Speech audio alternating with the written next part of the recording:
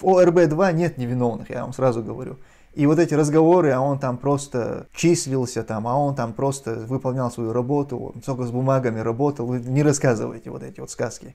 Расскажите это узникам, прошедшим через ОРБ-2. Придите им расскажите, что он просто там с бумагами работал. Каждый, кто там работал или работает, он виноват. Просто вопрос в том, насколько он виноват. Здесь нужно просто выявить вот этот вот это уровень. Немного, в РОВД это немного другая тема. Никого я не оправдываю из тех, кто там работает, но не все являются преступниками. То есть в плане, точнее нет, не так, неправильно сказал. Преступниками являются все.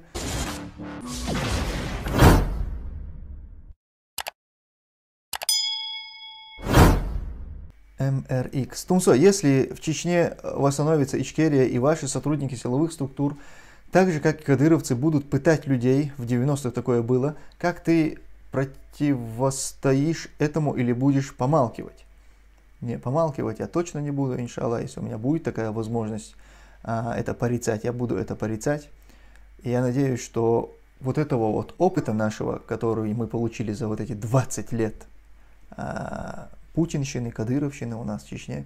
Я думаю, этого нам хватит для того, чтобы больше никогда в истории не вернуться вот к пыткам, к издевательствам, к унижениям, к этой тирании, к вылизыванию э, этих обладателей власти, к этим портретам, вот к прочему вот этому всему э, непристойному, ко всяким вот этим вот Э, объектом имени одного, культивированию одного человека. Я надеюсь, что мы этого нам вот достаточно, этих 20 лет, и, ну и не знаю, сколько мы еще под этим проживем.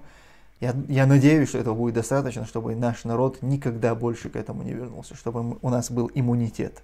Как вот прививки, они призваны же защитить здоровье путем а, закаливания иммунитета да, против тех или иных заболеваний. Вот я надеюсь, что вот это для нас мощная прививка, которая послужит иммунитетом от подобного рода а, заблуждений, даже не заблуждения, как это правильно назвать, пороков, наверное, да, это, это пороки. Я надеюсь, что мы не, этого нам хватит, чтобы никогда больше к такому не вернуться. Тумсо, получается, всех кадыровцев после прихода шариата в Ичкерию будут поголовно приговаривать к смертной казни, ППС, мент, ВВшники и так далее. Это же с 15-20% мужского населения придется убить. А кто сказал, что их всех будут приговаривать? Я разве это говорил? Я сказал, что надо. Во-первых, я никогда не говорю, что будет. Я понятия не имею, что будет. Я не, не власть Ичкерии. Я лишь говорю свои мысли и то, как, как, чего, как бы мне хотелось это видеть. И вот как я думаю должно быть. Наказывать должны только преступников. Только преступники должны быть наказаны. И если положено э, преступника наказать смертной казнью по закону, он должен быть казнен. Если он должен сесть в тюрьму, он должен сесть в тюрьму. В общем, то, что вот, если он там штраф, он должен заплатить, он должен заплатить штраф. То есть, как вот э, он будет осужден, вот такое наказание он должен понести. Все преступники, я подчеркиваю, именно преступники, должны предстать перед судом. Никто не должен быть по беспределу просто так наказан, как мне или там Хампашу захотелось. Но я говорю, есть отдельные структуры, отдельно. То есть это мы сейчас сказали в общем, да, в целом о, о, о работниках российских правоохранительных органов, оккупационных сил на территории нашего государства. Среди них есть преступники, они должны быть наказаны. Те, кто соверш... не совершал преступления, они, должны, э, они не должны быть наказаны. Может быть, в отношении них, я считаю, что должна быть проведена иллюстрация, никаких должностей, никаких государственных там э, структурах они работать не, не должны. Быть может, они должны будут заплатить там какие-то штрафы. Я не знаю, как это будет выглядеть. Но наказаны должны быть только преступники. Это в целом. Теперь частно мы говорим. Это было в целом. Теперь мы говорим о частных случаях. Есть в этой общей системе кадыровской есть отдельные структуры, где все, вот поголовно каждый, кто там работал, должен преследоваться. Это значит, например, ОРБ-2, да, ОРБ-2, или полк Кадырова специального назначения, там бла-бла-бла, спецполк, у нас его в народе называют второй полк, то же самое – или сейчас не, не приходит в голову, возможно, еще какие-то есть. То есть вот эти, допустим, ОРБ, ОРБ-2 это страшно ублюдочная структура, да? Это то, то место, где, где просто вот как по конвейеру пытали, издевались над людьми. Это просто страшное дело, что они вытворяли а, с задержанными. Если я буду об этом рассказывать, наверное, этот эфир могут заблокировать. Это, это страшное дело.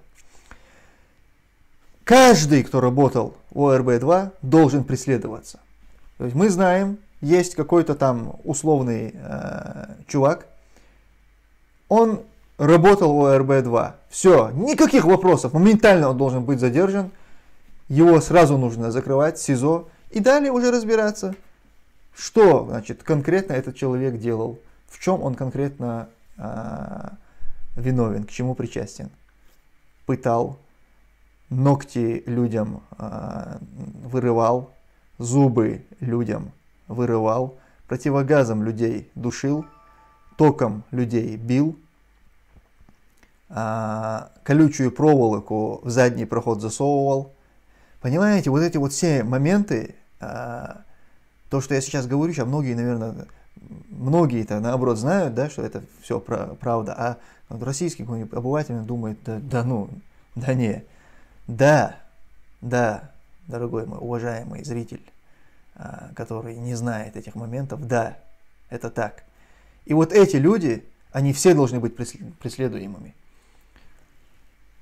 Есть и просто здесь вопрос только в том, насколько он виноват. Здесь нет, там не будет невиновных, там нет невиновных. В ОРБ-2 нет невиновных, я вам сразу говорю. И вот эти разговоры, а он там просто э, числился там, а он там просто выполнял свою работу, только с бумагами работал. Вы не рассказывайте вот эти вот сказки. Расскажите это узникам, прошедшим через ОРБ-2. Придите и им расскажите, что он просто там с бумагами работал.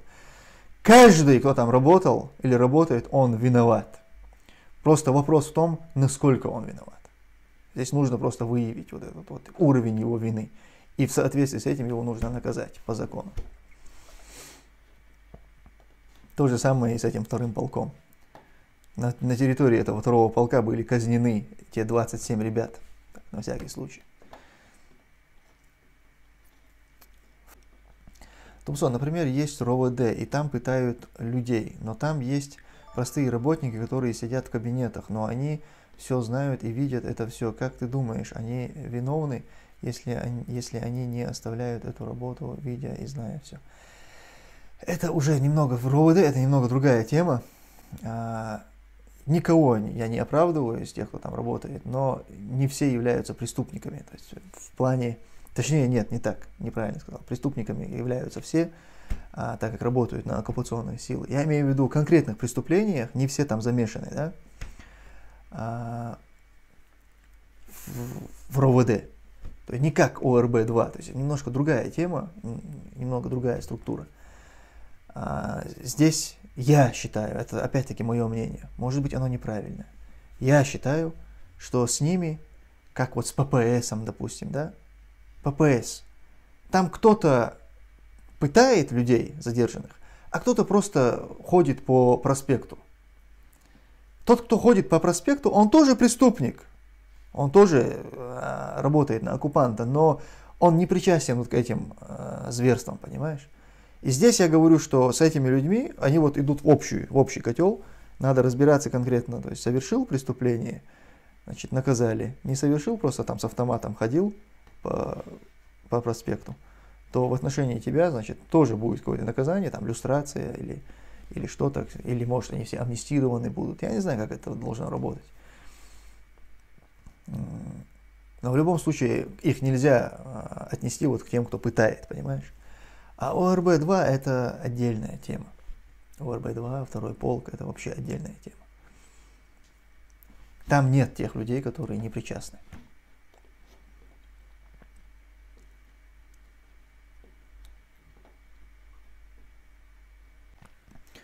Вы съездите в страны Латинской Америки, посмотрите, там нет сильной власти практически во всех странах, там в бандитских разборках гибнут десятки тысяч молодых мужчин. Такой же бандитизм будет где нет власти. Нам не надо ездить в страны Латинской Америки, нам достаточно приехать в страны Евро Европы, и здесь нет вот этого всего беспредела, нет бандитизма, нет какой-то уровень криминальности, конечно, везде он есть.